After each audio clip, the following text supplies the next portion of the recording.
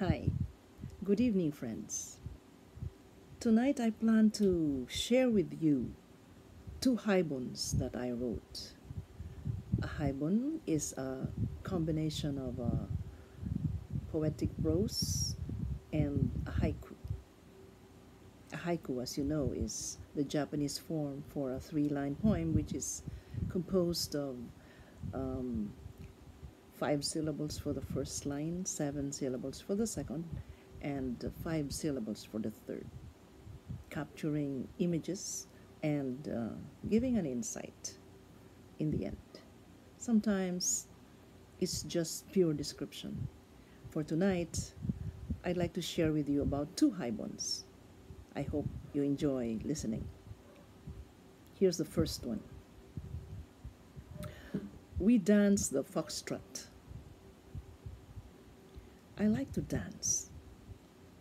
I know quite well how to dance my favorites samba, salsa, reggae, boogie, cha cha.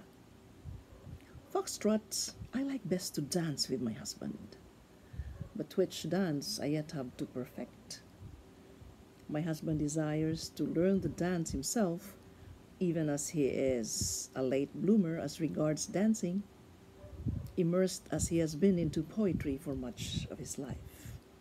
I have been dancing for many years and got hooked on poetry, haiku especially, only in the last three years or so.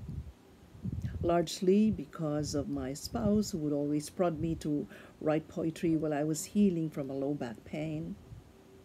Our situation is described in my husband's poetry book you have come across the book, the poet learns to dance and the dancer learns to write a poem. And so we begin to dance. We mind the balance, remembering at first him with his rhyming lines, and myself with my nimble feet, as old friends say.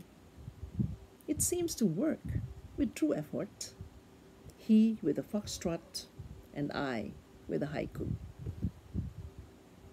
Here's the haiku. We dance the foxtrot. Slow, slow, quick, quick. Let it go. The seas ebb and flow. The second haibun. I have entitled it The profane, and the sacred. My readings about the haiku introduced me to Kigo, K I G O, or seasoned seasonal reference, which a haiku must have.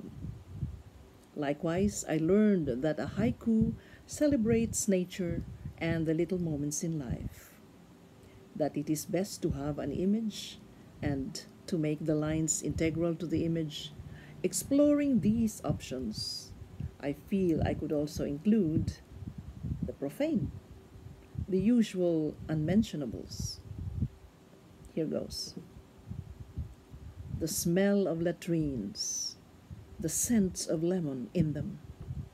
Ah, I am purified. Yet I am more purified writing about spiritual matters, so this is the second haiku on the sacred. The tree is bending, whose arc is almost half moon. Is God in the wind? Those are my two haibuns. Thank you for listening. Good night.